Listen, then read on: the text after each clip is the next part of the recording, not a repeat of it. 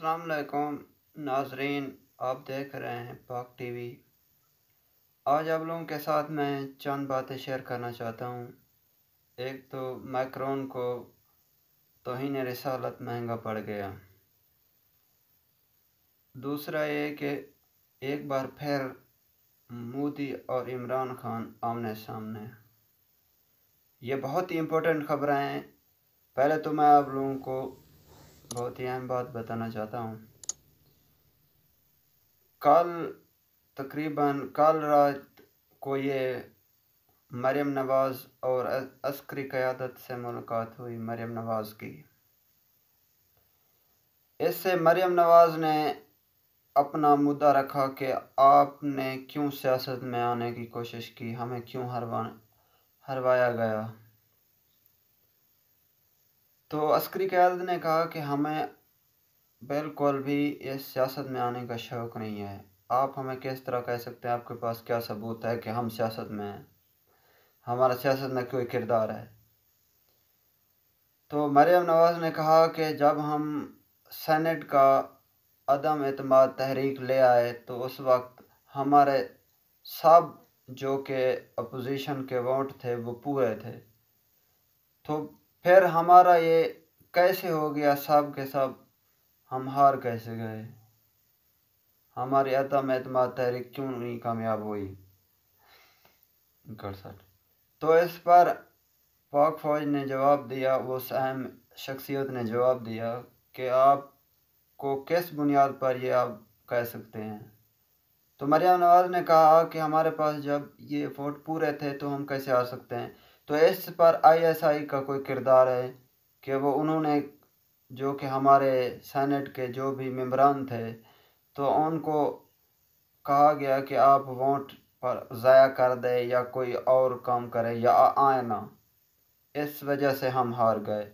मैं और मेरे बाबा जो कि हमारे दूसरे लीडर है, वो यही समझते हैं।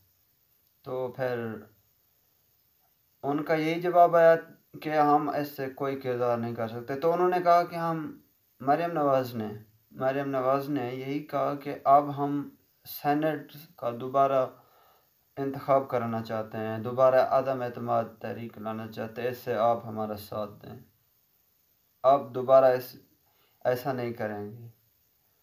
तो उन्होंने कहा कि अगर आपके पास पूरे मेम्बरान हैं तो आप बेशक आप अदम अतमाद तहरीक ला सकते हैं।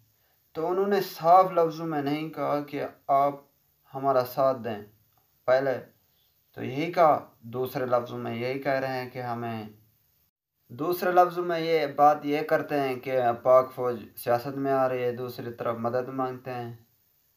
ये कैसे लोग हैं? तो फिर पाक फ़ौज ने जो भी अस्करी क़्यादत थी तो उन्होंने यही जवाब दिया कि अगर आप को दूसरा तरीका है तो आप अपनाएँ। हम इसमें आपकी कोई मदद नहीं कर सकते, ना हम ऐसे चाहते हैं। जो भी इलेक्टेड हुकूमत है, हम उनके साथ खड़े हैं। हमारा कोई ऐसा ताल्लुक़ नहीं है। तो अगर आप अदालतें मौजूद हैं, आप दूसरा काम करें, आपके पास सबूत हैं, आप अदालतें में जाएँ, बॉन्ड लड़ें, आप अब हमें क्यों घसीट रहे हैं?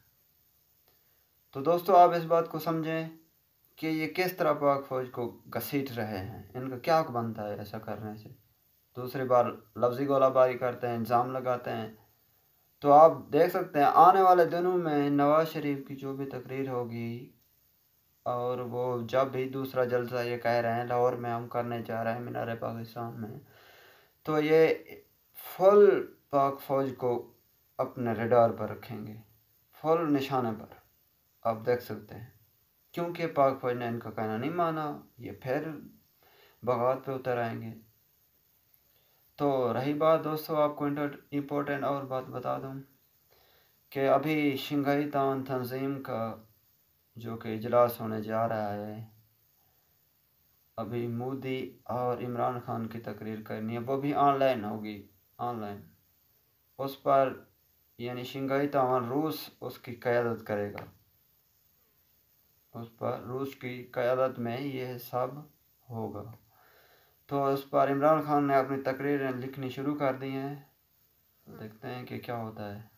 मोदी उसका क्या जवाब देता है। तो फिर आप इस बात को समझें कि एक बार फिर इमरान खान और मोदी आमने सामने आने वाले हैं। अभी रूस का एक फ़ौजी दस्ता हमारे पाक फ़ौज से फ़ौजी मशक़ें करने आ गया है। अभी वो कल ही उनका जहाज़ उतरा है हमारे यहाँ तो ऐसे भारत के पसीने छूटे हुए हैं। और वो चाहते हैं कि ऐसा ना हो, पाकिस्तान और रूस के तो ताल्लुक ख़त्म हो गए थे। ये किस तरह बहाल हो गए? तो हमारी जो भी पहले की क़्यादत थी, वो बहुत बुरे लोग थे। वो कभी भी रूस से ताल्लुक अच्छे नहीं रखना चाहते। अभी हमारी फ़ौजी और अस्करी क़्यादत बहुत अच्छी आई हुई है और इमरान खान की क़्यादत में ये सब हमारे साथ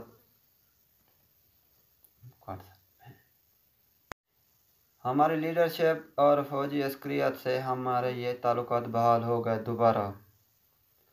तो आप इस बात को समझें कि अभी इन हमारे रूस के साथ बहुत अच्छे ताल्लुक रहेंगे। इससे हमारा जो भी इमरान खान यानी मुद्दा है उसका, वो कश्मीर का आवाज़ आगे भी उठाते रहे हैं और आज भी वो बहुत सख्त लफ्ज़ों में उठाने जा रहे हैं। इस बात को गौर से समझें। इन वो भारत को, उनका दुनिया को भी मकरू चेहरा दोबारा दिखाएँगे। इन कश्मीर बनेगा पाकिस्तान। तो फिर और मेरी वीडियो लंबी ना हो जाए तो और आपको मैं इन्फॉर्मेशन बता दूँ कि अभी जो मकरून यानी वो बेगैरत शख्स फ्रांस का सदर मकरून ने जो बात की थी तोहन रिसा जो बयान दिए थे, उससे उन्होंने कल ही मीडिया से बात करते हुए कहा था कि मैं मुसलमान को कोई टॉर्चर करने वाली बात ऐसी नहीं की, न कर रहा था मैं। तो मुझे कल ही पता चला कि जैसे ही मैंने बात की तो मुझे पता चला कि कुछ लोग हैं जिनके लिए ये बहुत ही तकलीफ़ दे बातें हैं। तो ऐसा, दोस्तों, बयान जब आया तो आप समझे, तुर्की और पाकिस्तान ने जिस तरह बयान दिए, इमरान खान और तैयब उर्दगान ने बयान दिए और दूसरे ममालिक में जिस तरह ये किए गए, यानी धरने दिए गए, ये उसी का है जो बाइकाट फ्रांस की की गई। ये उसी की बदौलत ये फ्रांस के अक्ल ठिकाने आ गए, उसके सदर की। तो दोस्तों, अभी उसने एक अखबार में भी एक आया हुआ था, छापा हुआ था पूरी लिस्ट उन्होंने पूरी तस्दीक से बता नाजरीन, अखबार में एक छापा गया था कि मैक्रून ने कहा कि मुझे लगता है, यानी ये एक, आप इस बात को सुने, कि उन्होंने कहा, ये मुझे लगता है कि कुछ तबके के लिए ये बात जो मैंने की, ये तकलीफ़ दे थी। यानी उन्होंने अपनी हार तस्लीम कर ली। दोस्तों, ये कल का बयान है, कल का। मैं जिस वक्त ये वीडियो बना रहा हूँ, ये कल का बयान है, दोस्तों। अभी ये उनके अकाल ठिकाने लगी, जब पूरे पाकिस्तान, तुर्की या मुस्लिम उमा ने इनकी जो भी एशियाज़ की बैकाट की तो इन्हें अकल ठिकाने आ गया।